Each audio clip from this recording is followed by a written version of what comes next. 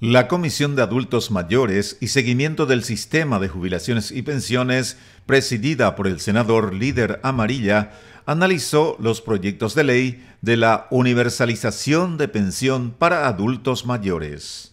Nos reunimos en la Comisión de Adultos Mayores para dictaminar sobre los proyectos de ley con respecto a la universalización del cobro Queremos que todas las personas que cumplen 65 años de edad cobren en forma automática. Automática significa que con una declaración jurada directamente ya el Ministerio de Hacienda proceda a pagarla. Sin censo, significa eso. También planteamos que se aumente la pensión a un 50% del salario mínimo.